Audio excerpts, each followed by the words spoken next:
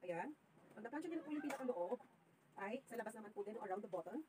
Sa likod po yan. And then yung pinakadulong part pa rin ng kamay. Ayan. Okay. Pagkatapos po niyan, ito naman yung babang part na. So, papasok niyo lang po yan. Ayan. Ayan. And then, plancha niyo po sa side, sa kilikili, dito sa botones, sa ibabaw ng bulsa, sa gitna, sa pinakagilid.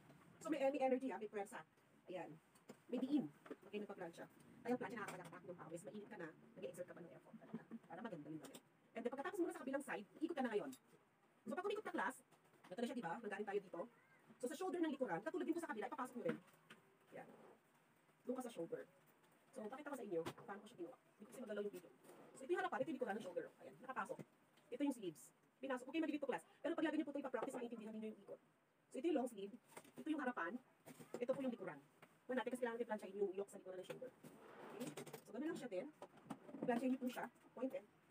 Ayan, hanggang doon sa collar, sa gitnang collar. Okay. Pagkatapos po niyan, okay, planchahin mo na yung babang part. Flatten, mabuti. Plancha doon sa gilid, sa kilikili, hanggang doon sa may slit, sa gitna, sa baba. Gumit na ka muna. Para sigurado. Tapos musi sa gitna, sa gitna class, meron siyang tinatawag na split. Ayan o, yung split sa gitna. Ito, ito, ito. ito. Na-plancha hindi po na maayos. So, na-plancha mo na siya, ayan, plancha, plancha, plancha, plancha. Okay, yun naman sa pinakabilang yok, yung dito na sa kabila. So, ganun din yung please, iikot mo lang yung damit para mapasok mo si yok, o si shoulder part.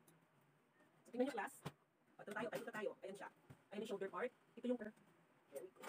Pag na-plancha mo na itong shoulder part, and then bababa ka na dito, ito lang siya. Ayan na siya class, o yung mga done. Part done. And then right after mo siya plancha, and then pwede mo yung i-check. Baka may lukot din ng konti.